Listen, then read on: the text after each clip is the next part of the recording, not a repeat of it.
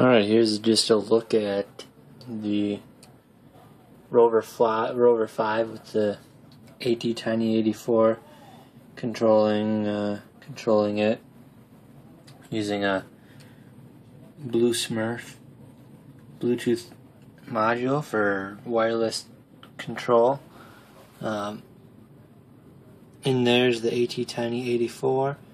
We've got it hooked up to six nickel metal hydride batteries um, to get enough power to get going. Uh, our motor controller, I couldn't even tell you what what it is, but there'll be a link in the blog or description for the motor controller.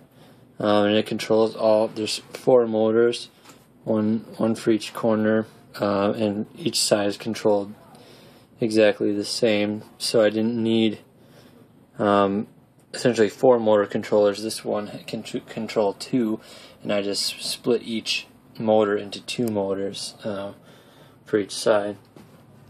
Let's take a look at what's going on soft here, software wise. Um, I've got four numbers are being showed right there, and depending on how I move a joystick.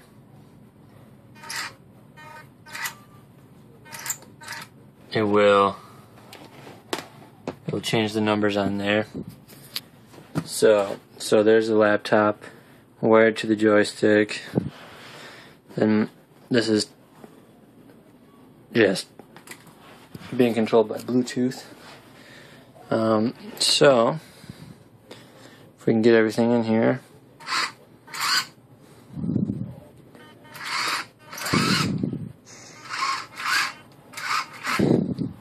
So yeah, you can see it can be controlled wirelessly.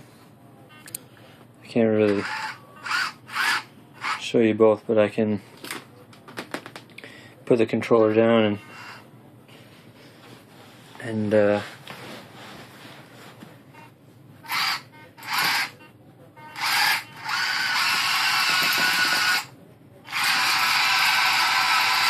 having a little trouble there one track is, is coming off every time I go anywhere.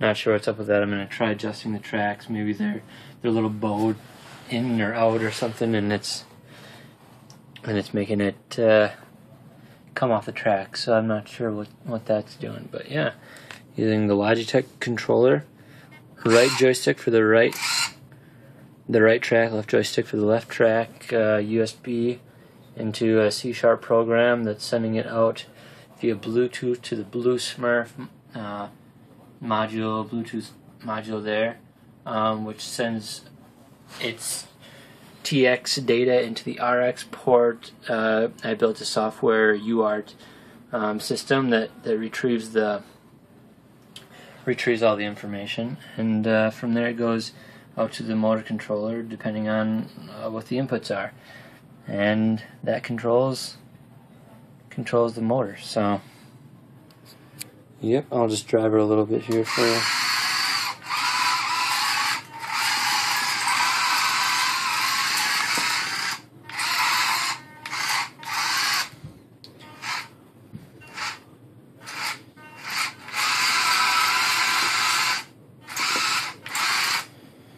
It's uh, it's pretty cool. Working pretty well, very responsive, as you can see.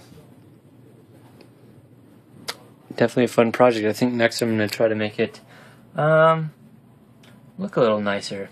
It's quite a mess right now, but uh, it's all because I'm using this prototyping board, and, and as soon as I can start soldering some actual components in, we'll be able to reduce the size and maybe even get it in the inside the bottom here. Um, but yeah, that's that's the rundown. Thanks for watching.